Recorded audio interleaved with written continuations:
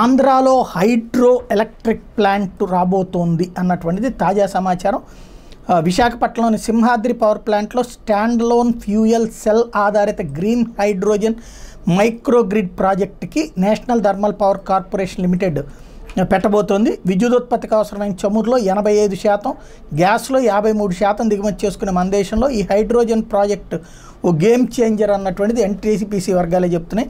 Green hydrogen కొనుగోలు తప్పనిసరి అవుతున్నటువంటి నేపథ్యంలో స్వచ్ఛమైన ఇంధనాలు ప్రోత్సహించడానికి ఎరువులు కర్మ ఎరువుల కర్మాగారాలు చమురు శుద్ధి కర్మాగారాలు గ్రీన్ హైడ్రోజన్ని కొనుగోలు చేయడానికి తప్పనిసరి చేసేందుకు కేంద్ర ప్రభుత్వం యోచిస్తున్నటువంటి నేపథ్యంలో ఈ నిర్ణయాలు జరుగుతున్నాయి.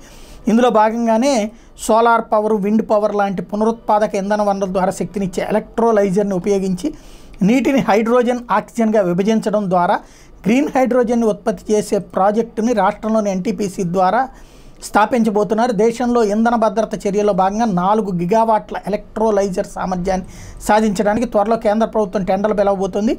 సింహాద్రి థర్మల్ కేంద్రం సమీపంలో ఉన్న ఫ్లోటింగ్ సోలార్ ప్రాజెక్ట్ నీటిలో తేలియాడే సౌర ఫలకాల నుండి ఇన్పుట్ పవర్ తీసుకోవడం ద్వారా రెండు వందల నలభై కిలోవాట్ల సాలిడ్ ఆక్సైడ్ ఎలక్ట్రోలైజర్ ఉపయోగించి హైడ్రోజన్ ఉత్పత్తి చేస్తారు. సూర్యరశ్మి సమయంలో ఉత్పత్తి చేసిన ఈ హైడ్రోజన్ అధిక పీడనం దగ్గర నిల్వ చేస్తారు. యాభై కిలోవాట్ల సాలిడ్ ఆక్సైడ్ ఇంధన కణాన్ని ఉపయోగించి దాన్ని విద్యుదీకరిస్తారు. ఇది సాయంత్రం నుండి ఐదు గంటల నుండి ఉదయం ఏడు గంటల దాకా స్వతంత్రంగా కూడా పనిచేస్తుంది. ఇక దేశంలో మరికొన్ని హైడ్రోజన్ శక్తి నిల్వ ప్రాజెక్టుని స్థాపించడానికి అవసరమైనటువంటి అధ్యయనానికి కూడా ఈ ప్రాజెక్టు ఉపయోగపడబోతోంది.